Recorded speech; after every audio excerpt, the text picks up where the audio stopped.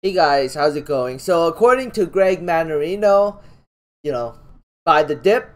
Don't worry about this. This is temporary, and it'll probably the stock market will probably recover eventually. That's what he basically said. So, you know, and then we look at like Moderna and Pfizer, which fights the virus and guess what? We're gonna get boosters after boosters after boosters. More vaccines for everyone. That's right. Your needles are not done yet. You're gonna get more of this stuff in your body.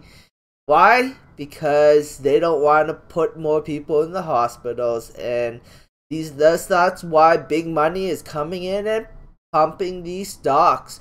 They're using that uh, they're using that sell off money to move it into Moderna and Pfizer, and probably some other virus fighting companies.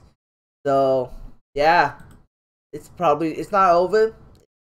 Uh, these stocks are kind of expensive already. I mean, it Moderna could go all the way up to four hundred. So you could gamble. You could buy buy Moderna and gamble that will go higher.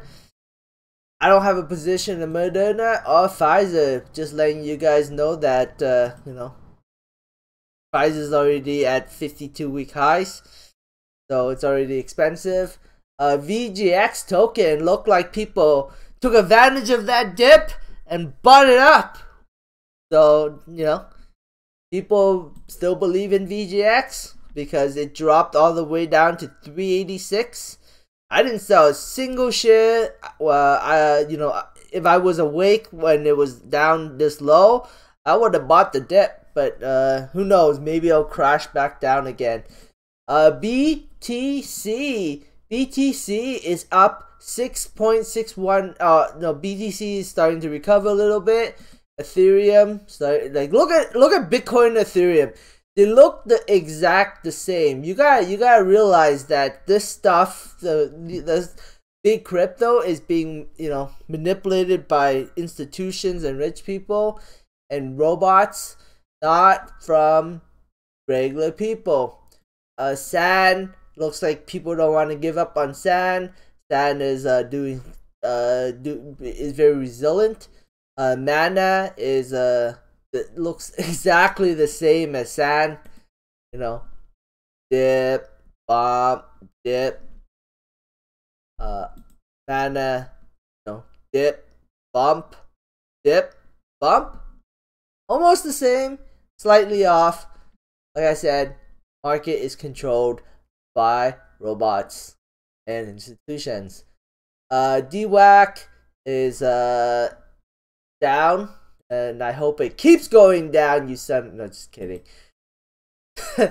uh, DWAC is down. The options? Ah, no, they won't show the options. Oh well, whatever. It's a half day uh, trading day, so be careful about buying your options.